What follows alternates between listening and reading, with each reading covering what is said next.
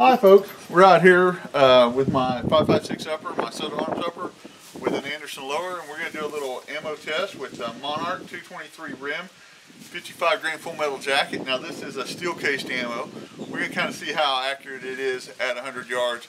We're not necessarily going for the bullseye, we're trying to look at a pattern, the pattern that this ammo will make.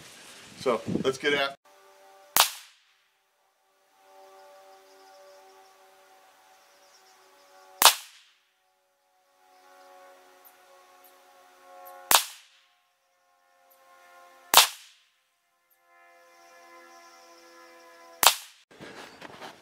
That was a Monarch steel case through my uh, SOTA 16 inch upper.